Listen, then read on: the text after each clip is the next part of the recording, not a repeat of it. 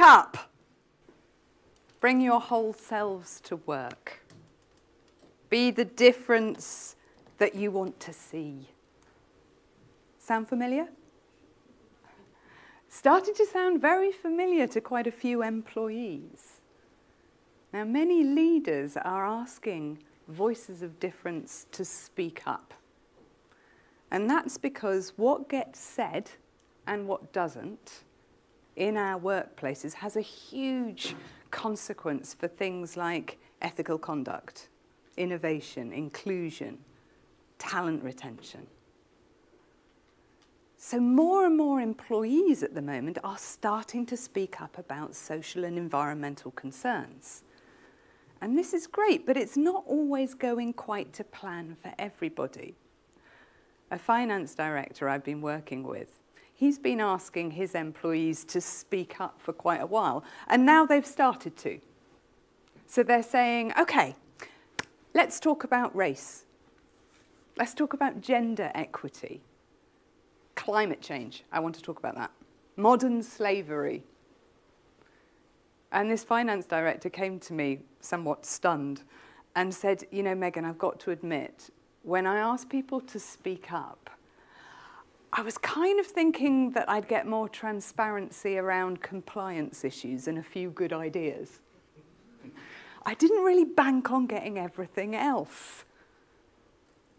But this is an era of employee activism, and that's great, but why does it end up on the front pages of the newspaper for the wrong reasons sometimes? Employees walking out, getting fired, taking to social media, organisational reputations destroyed, or investors seeking change at the top of organisations. So my research over the past few years with John Higgins has involved interviewing hundreds of activists and leaders and activist leaders.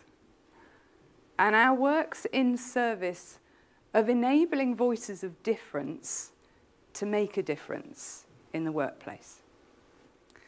Now, today I'm just going to draw out four key findings. And I'm also going to go through a few do's and don'ts for leaders who want to navigate this territory proactively productively. So let me start with a question. When I say the word activist, what comes to mind? What images? What thoughts? What assumptions? Well, we've asked thousands of people that question. And I can safely say that the words activist and activism are loaded terms. They mean everything from progress and courage and passion and change through to protest, rebellion, violence. It's quite cool to be labelled an activist in some parts of the world and in relation to some issues. And in other parts of the world and in relation to other issues, being labelled an activist is life-threatening so we need to understand the assumptions and the associations that we bring to activism because, of course, that affects how we respond to it. I was working with the board of a, a healthcare organisation, and in the coffee break, they started to talk about an employee who'd been pretty vocal on the internal comms channels about climate change, and he was quite uh, critical of what the organisation had been doing. It was really interesting because some of the executives labelled him as a troublemaker, kind of wanted to get rid of him. But there were a few executives that saw him as a trailblazer, and actually a couple that wanted to invite him into the board to educate them. Okay? So we've got to the first key point for our leaders is to understand that activism is in the eye of the beholder. As Ruchika Tulsian, uh, author and activist, told us, what looks like rebellion to you is another person's basic human rights. So the first thing you've got to do is really become aware of the kind of assumptions and judgments that you and your colleagues bring to activism in order that you can then respond with more awareness and more mindfulness. Second point, leaders can find themselves in an optimism bubble. We sometimes call it a delusion bubble. As you get more senior, you overestimate the degree to which other people are speaking up. You overestimate your approachability and you overestimate your listening skills. And that all means that you underestimate the strength of feeling that might exist with some of your employees. Now, one of the key reasons for this is something we call advantage blindness. So when we have the labels and titles that convey status and authority in a particular context, like hierarchy, for example, we're often the last person to realize the impact that those labels have on how other people are able to speak up to us. In fact, it's not until we don't have those labels that we can kind of look at them and go, gosh, they make a difference to how people can voice around here. So this, this uh, point for leaders is all about understanding you know, are you in one of these optimism bubbles? Are you a bit detached? How do you know what your employees find matters in their organisations? Do you? How? I was talking to the head of a retail organisation, and she was saying that her leadership team spend a lot of time in stores, yeah, listening. And she said something I thought was really interesting. She said, you can't delegate your listening responsibility to pulse surveys. Yeah. You've got to show up with your ears wide open. So what this means is don't assume you know what matters. You know, sharpen your antennae. Try and figure out, and we've written about lots of ways that you can do that, but underlying all of those methods is an understanding that it's almost inevitable that you're detached a bit and you need to do a lot more work actually to really find out what matters to employees. So third point, inaction is as political as action. We've met quite a few leaders that say that they're neutral on certain issues or apolitical. There's no such thing.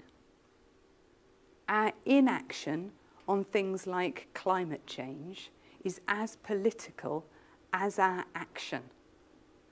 I was working with a HR director in the construction industry, right at the moment where a competitor had said some fairly disparaging things about women in the industry. It's a huge controversy. And this HR director really didn't want to get involved. He just wanted to avoid the conflict, stay out of it but his employees wouldn't let him because his silence would have communicated complicity. Now, what I am not saying, even though I'm often accused of saying it, what I am not saying is that therefore you need to act on every issue that's out there. Of course you don't, and of course you can't. It's infeasible. What I am saying as a leader is that you need to make conscious coherent, authentic choices about what you will make a stand on and what you won't. And do that in conjunction with your stakeholders. And of course, your employees are one of your key stakeholders there. Final point is that it's useful to understand what your employees think your response has been to activist issues so far. Not what you think it is, but what do your employees think it's been? And in our research, we came up with a kind of taxonomy of different leadership responses. It starts with non-existent or activism. What activism? We talked to a chief executive in the manufacturing industry And midway through our conversation, I asked him about climate change and his strategy and stance on environmental issues. And he looked at me utterly baffled. It was nowhere on the agenda. Now, that looks increasingly inconceivable, actually, but it certainly still happens. And then you get suppression, or let's just expel those voices before it spreads.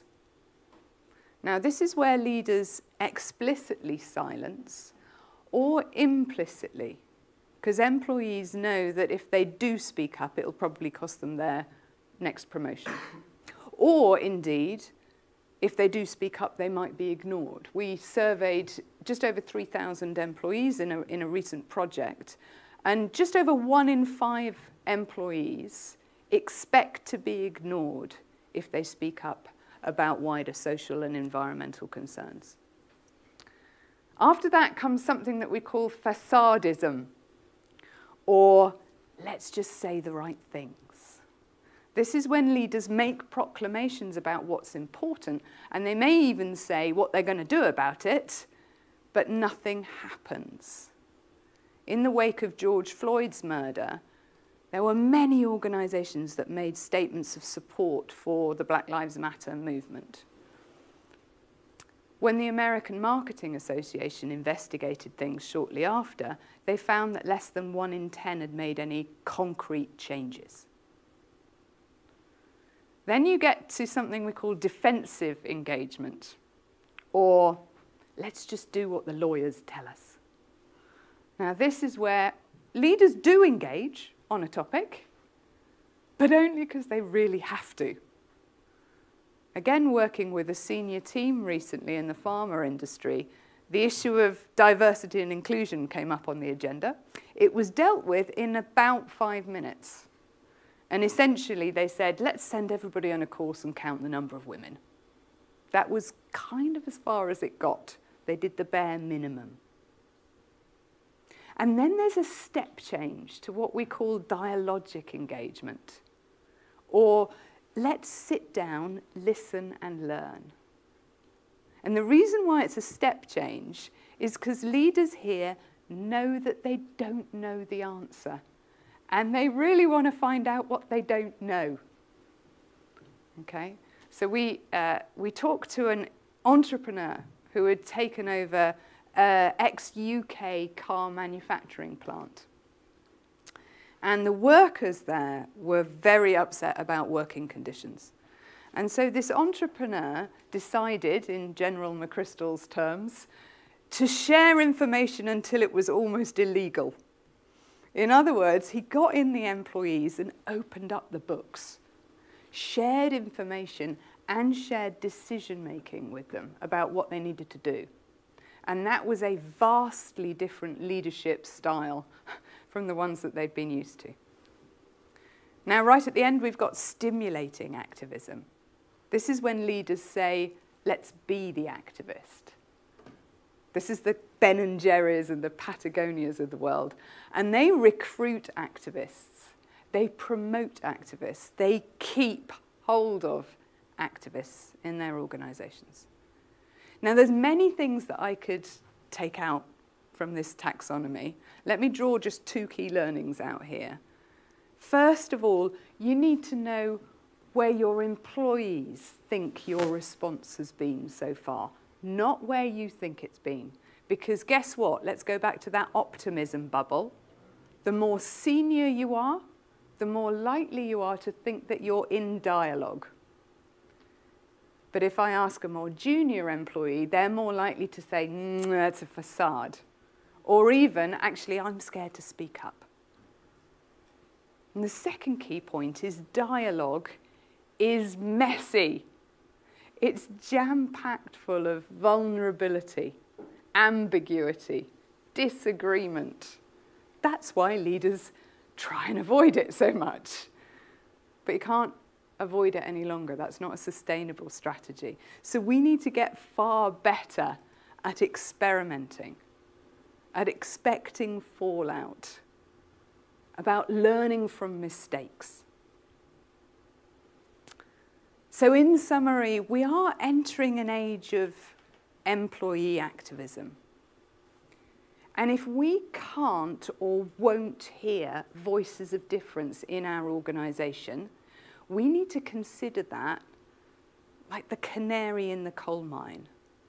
In other words, a signal of danger. Because if we can't talk about stuff that matters to us, but that we differ on, that spells disaster in our organisations for things like ethical conduct, innovation, inclusion, talent retention, performance. So maybe in the face of some of these enormous social and environmental issues, maybe we're finally starting to reassess what good leadership looks like. Maybe we're starting to see leadership as activism and in doing that, maybe we'll enable voices of difference to make a difference in the workplace by allowing them to speak truth to power. Thank you.